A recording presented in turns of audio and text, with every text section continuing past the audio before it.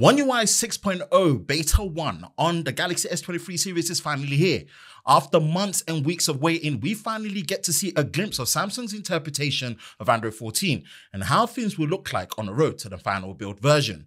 We're going to break it down and see what's new so far when comparing it to the current official software One UI 5.1. Hi, Ben from SamMobile. If you enjoy new and exclusive videos like this, then be sure to like, subscribe, and turn on notifications so you don't miss any new videos on YouTube with SamMobile TV. Here's our first look of what's new on One UI 6 Beta 1 on the Galaxy S23 Ultra and compare it to One UI 5.1 running on the Galaxy S23 Plus. Let's dive straight in. As you can see from the software information section, we are running One UI 6.0 with Android 14. If we pop into the Android 14 software section, there is now a new Android 14 Easter egg, which moves away from the clock-based Easter egg of Android 13 and 12 over to the theme more based on space and astronomy.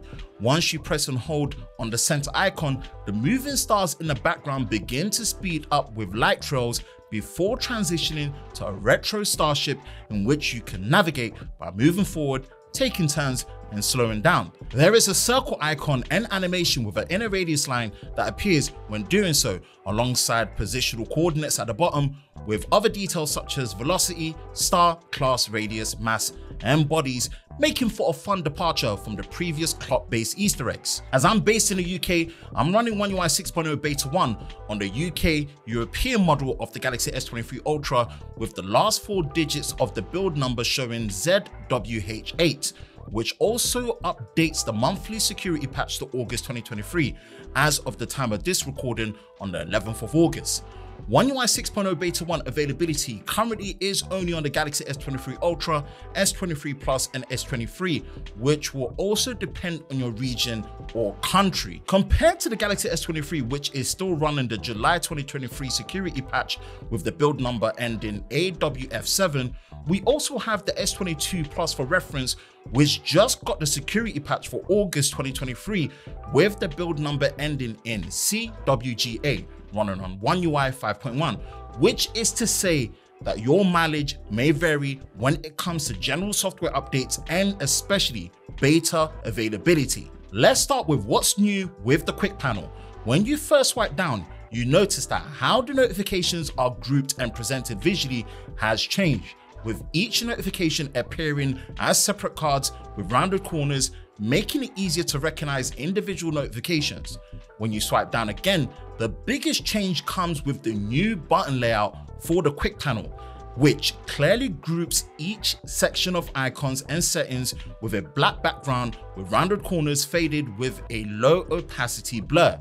The Wi-Fi and Bluetooth icons are at the top separated to the left and right, while features such as orientation, torch, mobile data, and more are grouped together below, followed by the calls, messages, and mobile data options for your SIM cards. Below that is the screen brightness slider grouped with the dark mode and the eye comfort shield toggle and the last but not the least is the smart view and device control settings on the bottom left and right. If we go back to the top, you'll notice that compared to One UI 5.1, the system-wide search icon has now been removed and the hamburger button, which shows the options for edit buttons, quick panel layout, status bar, and contact us has also been removed. We still have the power and settings icon, but now there is an edit button in the shape of a pencil.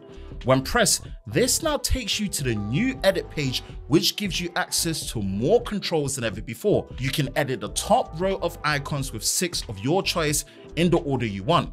You can also edit the full quick panel icons in the order you want with the icons available. Below is a section for the quick settings instant access, which when enabled allows for a single swipe from the top right handed corner straight to the quick settings panel. You've then got the option to change when you can see the brightness control slider to always show or show when quick panel expanded. The media control and media output buttons also have an option to don't show or show when quick panel is collapsed which are also the same options for the multi-SIM card information. And last is the contact us section. If we go back to the Wi-Fi and Bluetooth, What is nice here is the improvements to the interactions with them. If you press on the icons themselves, they will toggle on and off.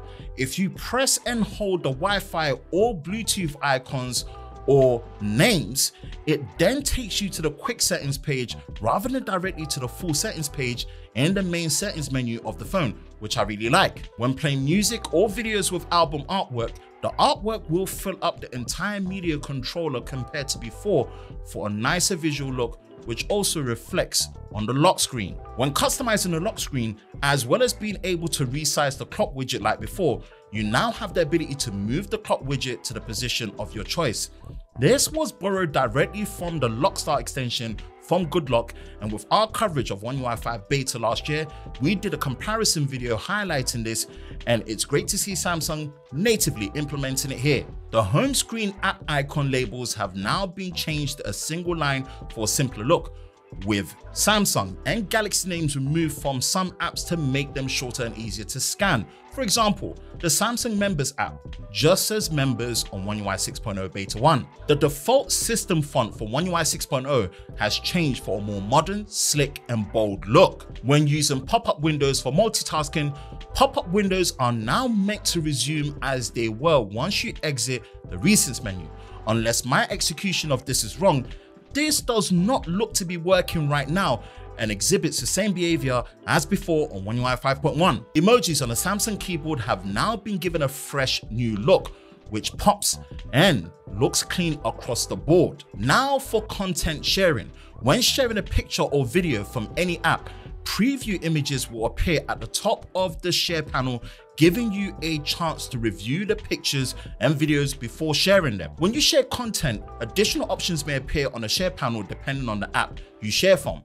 For example, when you share from a website using a Google Chrome browser, you get the option to share a screenshot of the website along with the web address. There is now an additional new weather widget known as Weather Insights, which provides more information about your local weather conditions. You can see when severe thunderstorms, snow, rain, and other events are on the forecast and a different visual look for sunset and also sunrise. There is now more information in the weather app when it comes to things like snowfall, moon phases and times, atmospheric pressure, visibility distance, dew point, and wind direction are now available within the weather app. The interactive map view is set to allow movement around the map and the ability to tap a location to view the local weather conditions.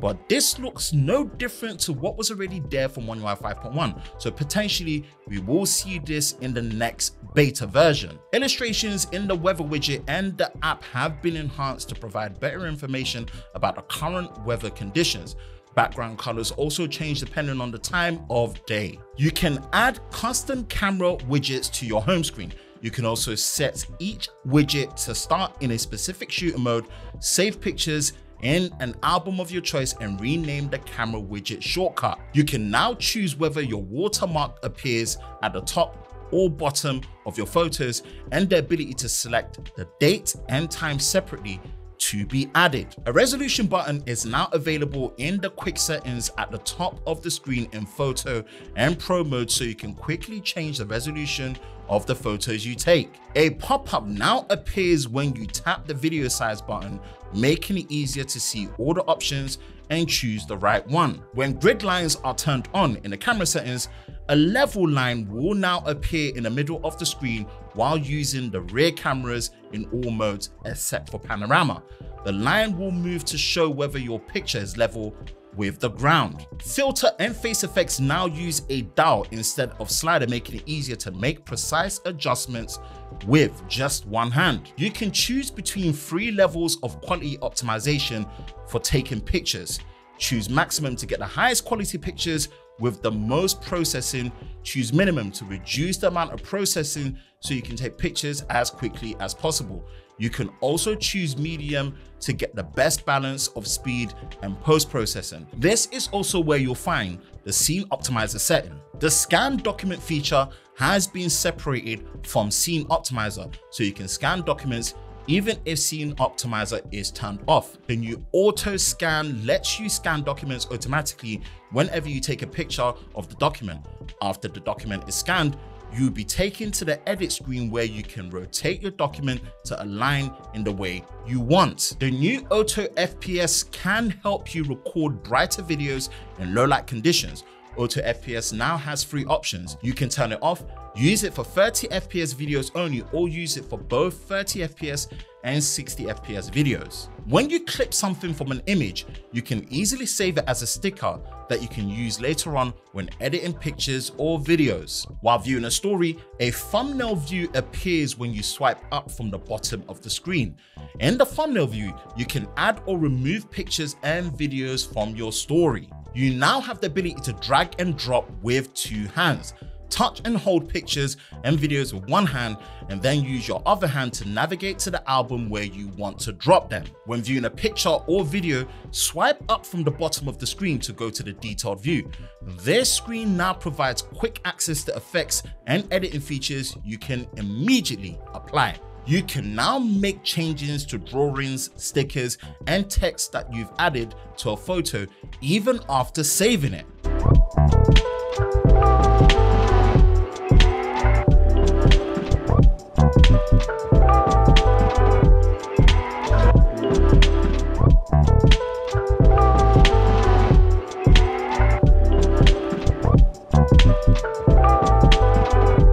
Can now easily undo and redo transformations, filters, and tones. The new tools menu makes it easier to find the editing features you need.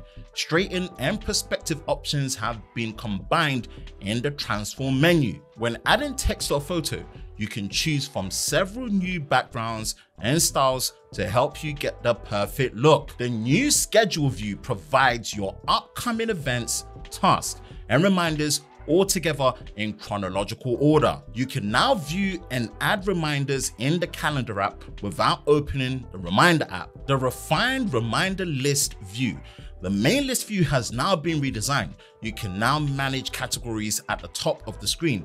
Below the categories, your reminders will be shown organized by date. The layout for the reminders containing images and web links has also been enhanced. The place category contains reminders that alert you when you are in a specific place and the no alert category contains reminders that don't provide any alerts. You can now create reminders for an entire day and customize the time when you want to be alerted about them. With the Samsung internet browser, you can keep playing video sound even if you leave the current tab or leave the internet app completely. When using the internet on a large screen, such as on a tablet, in landscape view or Samsung DeX, your tab list view will be shown in two columns so you can see more tabs on the screen at the same time. When you pin an image to the screen, you can now resize it or extract text from it. When selecting an area of the screen, a magnified view will appear so you can start and end your selection at the perfect spot. You can now edit the greeting that Bixby says when you answer using Bixby Text Call. You can switch to Bixby Text Call at any time even if the call is already in progress. You can now set up a different lock screen with their own wallpaper, clock style, for when you are driving, working, exercising, and more. When you start editing the lock screen while a mode is on, you will edit the lock screen for that mode. You can now start a routine when an app is playing media. Your routines can now do more than ever before. Change your lock screen, change the Samsung keyboard settings, and more. The Smart Suggestions widget has now been redesigned with a layout that better aligns with other icons on your home screen. You can now adjust transparency and choose between a white or black background. You can also set apps to exclude from suggestions. When an app appears in your search results, you can touch and hold the app to get quick access to the actions you can perform using the app. For example, if you search for the calendar app, the buttons for adding an event or searching your calendar will appear. App actions will also appear in search results on their own if you search for the name of the action instead of the app. Recommendation cards will appear to help you free up storage space. My files will recommend deleting unnecessary files give you tips for setting up cloud storage, and also let you know which apps on your phone are using the most storage space. If you turn on Wi-Fi and Bluetooth while airplane mode is on, your phone will remember. The next time you use airplane mode, Wi-Fi or Bluetooth will remain on instead of turning off. Battery settings now have their own top level settings menu so you can easily check your battery usage and manage your battery settings. Get an extra level of protection for your apps and data. Auto Blocker prevents unknown apps from being installed checks for malware, and blocks malicious commands from being sent to your phone using a USB cable. Customize how your magnification window appears. You can choose full screen, partial screen, or allow switching between the two. You can now increase the thickness of the cursor that appears while editing text so that it's easier to see. With our initial usage of One UI 6.0 Beta 1 on the Galaxy S23 Ultra, we do have a few feedback about how the experience has been, what could be improved, and also what's great so far. First of all, there is a bug with the Android 14 Easter egg not allowing you to go back with gestures and also on-screen buttons. The app icons label being a single line are not always clean. For example, the JBL headphones app with the single line doesn't look as clean as on One UI 5.1. The pop-up Windows multitasking from recent menu is not working. Also, the interactive map view in the weather app looks no different to One UI 5.1. There should also be a toggle method for the resolution button without covering the other settings such as timer, flash, and more. There should also be a long press and hold option to show all the options for the quick camera settings. The lab section has also been streamlined with a single toggle for multi-window for all apps. What's great is at the current time of using One UI 6.0 Beta 1, the speed and fluidity is excellent. And it may not seem like much, but it looks like it's another area of improvement which builds on what was achieved with One UI 5.1. Overall, One UI 6.0 with Beta 1 is looking like a good step in the right direction for Samsung's version of Android 14. Do you have One UI 6.0 Beta 1? What's your experience so far? Let us know in the comment section below. For the latest news in the world of Samsung Daily, be sure to visit us at sammobile.com. And for the latest videos on YouTube with SamMobile TV, be sure to subscribe and turn the notifications, and we will see you next time.